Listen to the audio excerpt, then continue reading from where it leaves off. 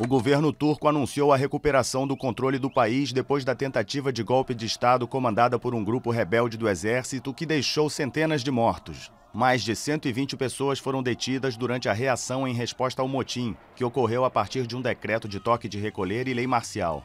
Houve incerteza durante várias horas em meio a relatos de explosões, tiroteios, ataques ao parlamento e a derrubada de um helicóptero que transportava golpistas. Em Istambul, soldados que bloqueavam pontes sobre o Bósforo dispararam contra a multidão. Enquanto isso, em Ankara, pelo menos 42 pessoas morreram, segundo as autoridades. O presidente Erdogan denunciou que os soldados rebeldes são vinculados a seu rival, Fethullah Gulen. No exterior, inúmeros apelos foram feitos exigindo respeito às instituições democráticas da Turquia.